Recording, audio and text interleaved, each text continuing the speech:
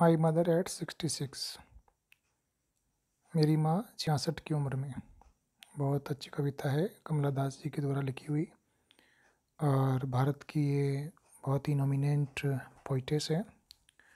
इन्होंने अपनी कहानियों के माध्यम से जो पारिवारिक स्थितियाँ हैं, पारिवारिक जो डर हैं, पारिवारिक जो भय हैं, पारिवारिक जो माहौल को बताने का बहुत अच्छा प्रयास किया है। चलिए देखते हैं my mother at sixty six थोड़ा सा अपन पहले पोइट के बारे में जान लेते हैं। कमला दास जन्म हुआ था उन्नीस सौ चौंतीस से 2009 का। इनका जीवन काल चौंतीस में पैदा हुई। 2009 के अंदर इनका देहांत हो गया। ये मालाबार, केरला में पैदा हुई और ये भारत की रिकग्नाइज जानी पहचानी है। पहचानी जाती है इंडिया, आज भारत की फोरमोस्ट अग्रणी कवियत्रियों में। इनका जो कार्य है, इनकी ओरिजिनलिटी यानी कि मौलिकता के लिए वर्सेटिलिटी मौलिकता के लिए और इंडिजीनियस फ्लेवर स्वदेशी रंग के लिए। ऑफ़ द सोइल में जो अपनी मिट्टी है, ये अपने देश की मिट्टी का जो स्वदेशी रंग है, स्वदेशी फ्लेवर है, और बहुमुखी प्रतिभा की धनी है, और मौलिकता के साथ लिखती है, इस बात के लिए इनको जाना जाता है। इन्होंने बहुत सारे नॉवल प्रकाशित किए, यानी कि उपन्यास और शॉर्ट स्टोरीज लघु कहानियाँ इंग्लिश के अंदर भी और साथ में मलयालम के अंदर भी। और अंडर द नेम इन्होंने अपना नाम बनाया है माधवी कुट्टी, इनका पेन नेम है ये। मतलब ये इस नाम से लिखती हैं। माधवी कुट्टी के नाम से ये अपने पोइम्स को, अपने वर्क्स को ये लिखती हैं। तो ये ज़रूर ध्यान रखें आप, माधवी कुट्टी कौन है? तो कमला दास का उपनाम है ये। इनके कुछ कार्य यहाँ पे बताए गए हैं आपको। जैसे इनका जो फ़ेमस कार्य था एल्फाबेट ऑफ़ लस्ट और ये नाइनटीन सेवेंटी सेवन में आया। एक कलेक्शन ऑफ़ शॉर्ट स्टोरीज लघु कहानियों का एक संग्रह, जिसका नाम था पद्मावती, द हारलोट, पद्मावती, वेश्या एंड अदर स्टोरीज ये पाठ आया उन्नीस सौ बानवे के अंदर, और इन्होंने इसके साथ में पाँच किताबें और कई प्रकार की पोइट्रियाँ प्रकाशित करी हैं। ये एक संवेदनशील कवियत्री हैं, जो कैप्चर करती हैं, यानी कि पकड़ती हैं कॉम्प्लेक्स जटिल सब्टिलिटीज जो समस्याएँ हैं ह्यूमन रिलेशनशिप मानव संबंधों की लिरिकल ईडियम और इनको संगीतात्मक ईडियम के रूप में प्रस्तुत करने का प्रयास करती हैं। माई मदर सिक्सटी सिक्स भी इसका एक अच्छा एग्ज़ाम्पल है, उदाहरण है। My mother at sixty six के अंदर राइटर ने बताना चाहा है कि किस प्रकार से जब हम वृद्धावस्था में पहुँच जाते हैं तो हमें उसको खोने का डर किस प्रकार से सताता है और कैसे हमारे दिमाग में कौन कौन सी भावनाएँ हमें घेर लेती हैं, उसके बारे में बताने का प्रयास किया राइटर अपनी माँ के साथ कोचिन एयरपोर्ट जा रही है और रास्ते के अंदर उसने अपनी माँ को देखा तो उसकी माँ का चेहरा एकदम डल हो चुका था, निरस हो चुका था, उसके चेहरे पे कोई चमक नहीं थी और उसको लग रहा था कि मेरी माँ शायद अब बचेगी नहीं। मेरी माँ उतनी बूढ़ी हो चुकी है जितनी बूढ़ी हो जाती है, यानी कि वो लास्ट अवस्था में पहुँच गई है, अब वो शायद नहीं बच पाएगी, उनकी मृत्यु हो जाएगी। तो इस प्रकार से इन्होंने एजिंग की जो प्रोसेस होती है नेचुरल प्रोसेस होती है, उसको बताने का प्रयास किया है। चलिए देखते हैं। Driving from my parents home driving यानी गाड़ी चलाते हुए। फ्रॉम यानी से माई पेरेंट्स मेरे माता पिता के घर से। होम घर से कोचिन। कहाँ जा रही है? कोचिन। लास्ट फ्राइडे पिछले शुक्रवार को। मॉर्निंग सुबह। आई सा मैंने देखा माई मदर मेरी माँ को बिसाइड बगल में। मी ने मेरे, मैंने मेरी माँ को मेरे बगल में देखा। पिछले शुक्रवार की बात है, सुबह की बात है, मैं अपने माता पिता के घर से कोचिन एयरपोर्ट जा रही थी तो मैंने बगल में मेरी माँ को देखा।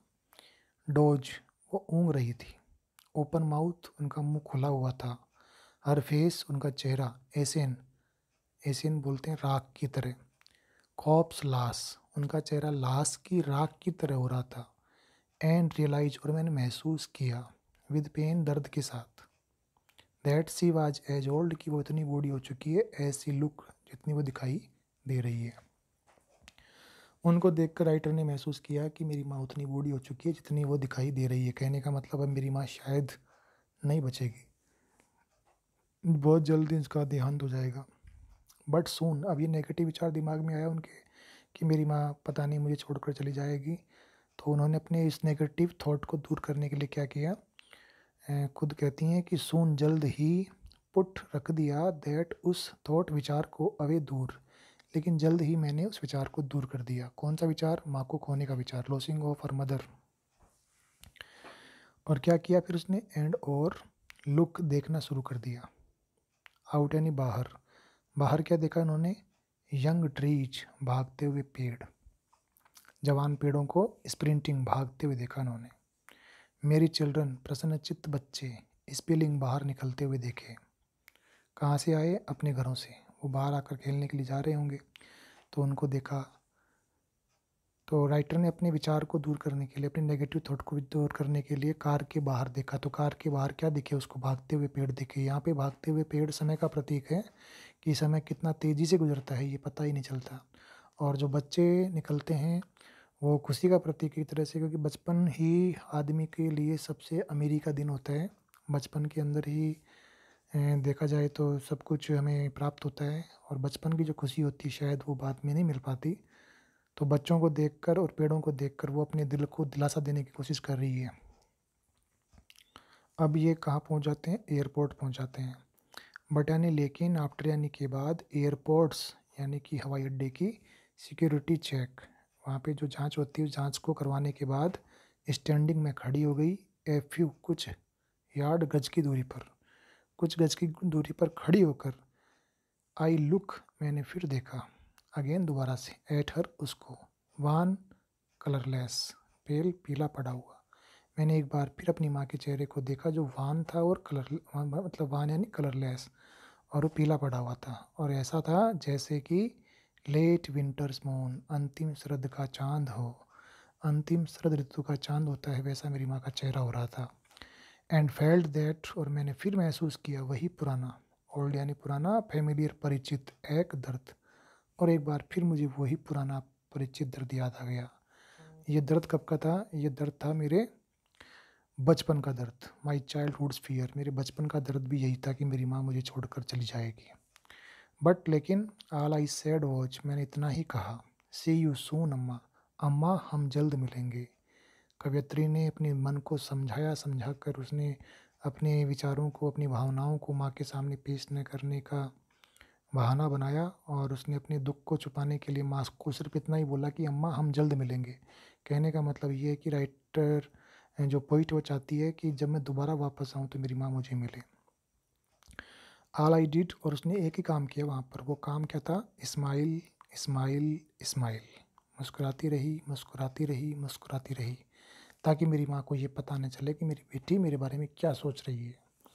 तो इस प्रकार से देखा जाए तो ये कविता बहुत अच्छी कविता है और किस तरीके से उन्होंने अपने दुख को, अपने दर्द को, माँ से अलग होने के दर्द को उसने कैसे अपनी कविताओं के अंदर पेश करने का प्रयास किया। अच्छा प्रयास। एक बार दोबारा फिर देख लेते अपन। इसमें कवित्री कहाँ से आ रही थी? कोचिन से। कब आई थी? लास्ट फ्राइडे को सुबह। बगल में कौन बैठा हुआ था? उसकी माँ बैठी हुई थी। माँ कैसी थी? उसका मुँह खुला हुआ था। उनका चेहरा लाश की राख की तरह हो रहा था। और राइटर ने क्या महसूस किया कि मेरी माँ बूढ़ी हो चुकी है? यानी कि उतनी बूढ़ी हो चुकी है जितनी वो दिखाई दे रही है। तो राइटर ने क्या किया इस विचार को दूर करने के लिए? राइटर ने कार के बाहर देखा। कार के बाहर उसे क्या दिखाई दिया? कार के बाहर उसको दौड़ते हुए पेड़ दिखाई दिए। और घरों से बाहर निकलते हुए बच्चे दिखाई दिए। उसके बाद में कहाँ पहुँच गए?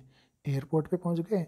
वहाँ पहुँचने के बाद में सिक्योरिटी जाँच हुई और कुछ गज की दूरी पे खड़े होकर उसने एक बार फिर अपनी माँ को देखा। और अब की बार उसका जो माँ का चेहरा था, उसने तुलना करी अंतिम श्रद्ध के चाँद से। पहले तुलना करी थी लाश की राख से।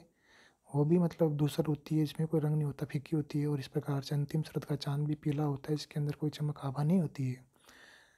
और फिर वही पुराना दर्द उसको याद आ गया एक बार फिर कि मेरी माँ मुझे छोड़कर चली जाएगी।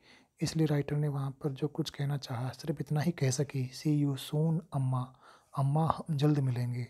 और एक ही काम किया उसने स्माइल स्माइल एंड स्माइल मुस्कुराती रही मुस्कुराती रही मुस्कुराती रही। ठीक है? अगर आपको अच्छी लगी हो तो लाइक करें और शेयर करें। Thank you